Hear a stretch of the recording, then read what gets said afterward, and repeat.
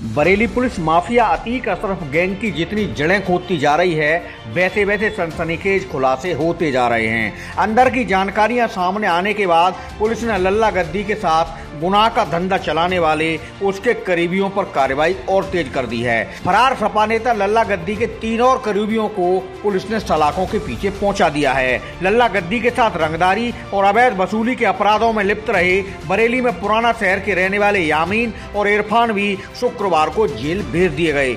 यह कार्रवाई थाना बारादरी में दर्ज रंगदारी के मुकदमे को लेकर की गई है, जिसमें लल्ला गद्दी अभी फरार है। इसके अलावा थाना बिथरी पुलिस ने प्रतापुर जीवन सहाय गाँव के रहने वाले माफिया अतीक अशरफ गैंग के गुर्गे फरहद और गुड्डू को भी बंदी बना लिया है। बरेली पुलिस और एसआईटी को अब लल्ला गद्दी की सरगर्मी से तलाश है, जिसके बारे में माना जा रहा है कि वह गिरफ्तारी से बचने को नेपाल भी भाग सकता है। पुलिस सूत्रों के मुताबिक 11 फरवरी को बरेली जेल में अतरफ से मिलाई करने वाले नौ लोगों में से ज़्यादातर की पहचान की जा चुकी है। अतरफ से जेल में मिलने के बाद प्रयागराज कांड को अंजाम देने वाले अतीक के बेटे असद, शूटर गुड्डू मुस्लिम सहित कई अपराधियों की तलाश में पुलिस और एसटीएफ लगातार छापेमारी कर रही है। अतीक के गुर्गे कयूम को स्पेशल टीम ने नेपाल से दबोच लिया है। वहीं फरार शूटर गुड्डू मुस्लिम की प्रेमिका से पूछताछ की जा रही है।